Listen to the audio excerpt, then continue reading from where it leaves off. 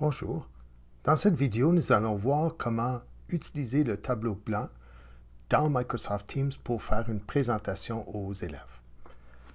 Nous allons commencer ici en rejoignant la réunion et j'ai déjà préparé à l'avance un tableau blanc pour une leçon sur la perspective pour mon cours d'art visuel. Donc le tableau est ici et je me suis déjà assuré euh, dans les réglages que les élèves ne peuvent pas modifier le tableau. Ça, ça peut être changé par la suite. Maintenant, pour présenter la leçon aux élèves, je ne veux pas utiliser cette vue ici. Il y a quelques problèmes associés avec ça. Premièrement, le tableau blanc qui est projeté pendant la réunion n'est pas enregistré dans la vidéo de la réunion.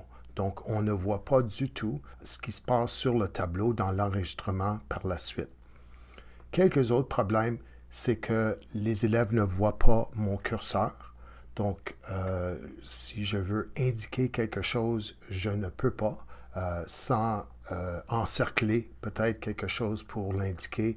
Mais les élèves ne voient pas le curseur, ils voient seulement apparaître les choses que je vais dessiner. Et l'autre chose, c'est que je ne peux pas contrôler pour les élèves où est-ce qu'ils vont regarder.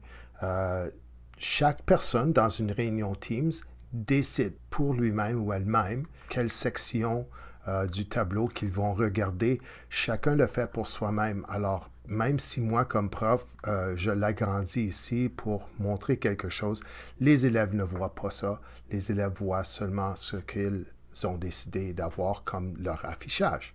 Donc, quelle est la solution? Deux étapes à faire. La première, c'est d'ouvrir mon tableau dans l'application de bureau. Vous pouvez cliquer ici pour voir comment installer l'application sur votre ordi si vous ne l'avez pas déjà fait. Maintenant, je retourne à ma réunion et j'arrête la présentation de mon tableau ici. Ce que je vais faire à la place pendant la réunion avec les élèves, c'est que je vais partager plutôt mon bureau.